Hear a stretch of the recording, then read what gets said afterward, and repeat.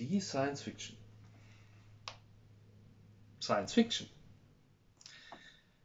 Nicht mal die Nachschlagewerke der einzelnen Sprachen sind sich einig, welchen Artikel oder welches Geschlecht Science Fiction denn nun hat. Für unsere Jubiläumsausgabe von Tolkien, der Fantastic Talk, diesmal ist es die Ausgabe Nummer 10, haben wir uns Gäste eingeladen, mit denen wir uns über genau dieses Thema unterhalten wollen. Hat die Science Fiction ein Geschlecht?